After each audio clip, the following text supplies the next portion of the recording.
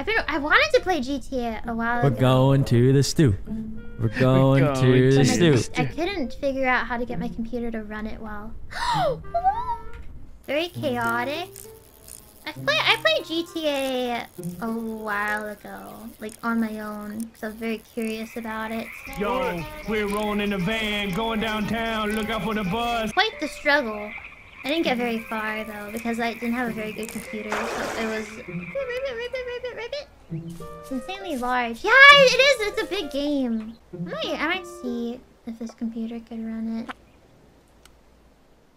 Cause I think you guys remember a while ago I wanted to play GTA 5, but I couldn't. I couldn't get it to run well. Like the game was being annoying, or like I would not be able to move very well. Although, do I want to start on? Well, if it's through Steam, there's a Steam cloud, right? Maybe I could. Will Will the game or my save file go to the cloud so that I can play it again when I get back? I'm not gonna play many games.